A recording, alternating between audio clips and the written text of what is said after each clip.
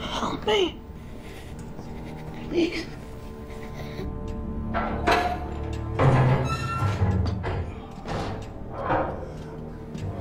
How are the men? How would I know? I don't know the first thing about radiation sickness. Please. I'm giving them aspirin. And I'm trying to prevent those that are dying from irradiating those of us that still have some hope. Pull yourself together. You are an officer in the Soviet Navy.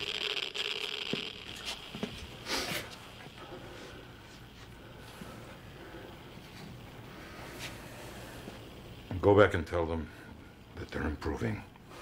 As you say, you know nothing about radiation sickness. Perhaps they are. Captain, Yes. Readings rising in every compartment now.